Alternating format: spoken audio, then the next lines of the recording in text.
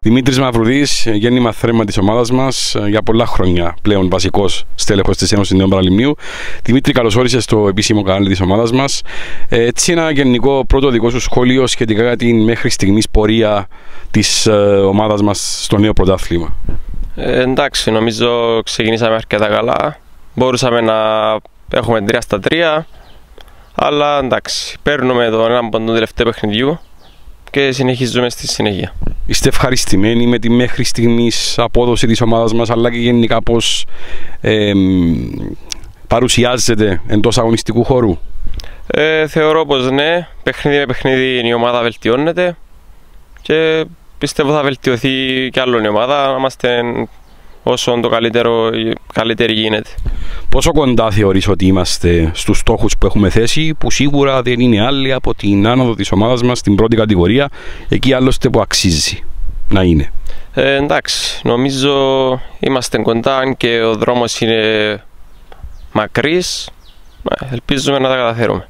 Επόμενος αγώνας κόντρα στον Αχυρόνο Νίσιλο. Ένα γενικό σχόλιο για το συγκεκριμένο αγώνα. Ε, εντάξει, είναι ένα δύσκολο παιχνίδι αλλά είναι ένα παιχνίδι όπως τα άλλα και η μόνη σκέψη για εμάς είναι οι τρεις βαθμοί. Δημήτρη μου, σε ευχαριστούμε και καλή επιτυχία στον επόμενο αγώνα. Ευχαριστώ. Κωνσταντίνο, καλώς όρισες στο επίσημο κανάλι της ομάδας μας. Καλή αρχή για την νέα αγωνιστική περίοδο.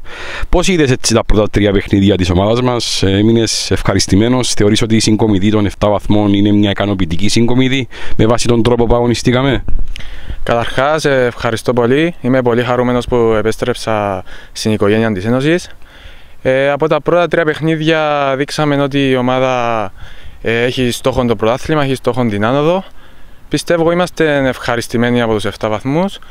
Σίγουρα στο τελευταίο παιχνίδι θα, προτιμούσα, θα προτιμούσαμε να παίρναμε την νίκη, αλλά είμαστε ευχαριστημένοι και συνεχίζουμε. Επόμενος αγώνας, τα δύσκολος αγώνας κόντρα στον Αχυρόνα Ανίσιλο.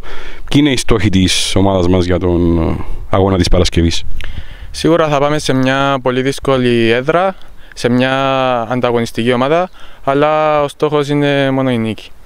Ευχαριστούμε και καλή επιτυχία. Ευχαριστώ πολύ.